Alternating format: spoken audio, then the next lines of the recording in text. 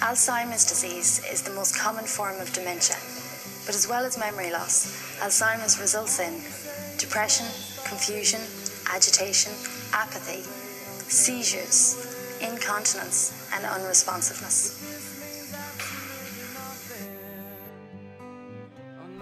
Hi, my name is Niamh McGarry, and I work here at the Institute of Neuroscience in Trinity College Dublin, otherwise known as TCIN. This is Professor Marina Lynch's lab, where I investigate the causes of Alzheimer's disease. Now, despite all the research into Alzheimer's disease over the last few decades, we still don't know what causes the disease.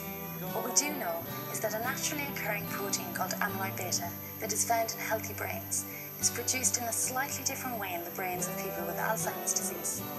This different form of amyloid beta accumulates around the cells and the cells die. What I want to do is find out what this amyloid beta does that results in cell death and stop it. I do this by culturing or growing cells in the lab, where I treat them with amyloid beta. This creates a mimic of what is occurring in the brain, and so I can examine what happens. And the sound becomes clear.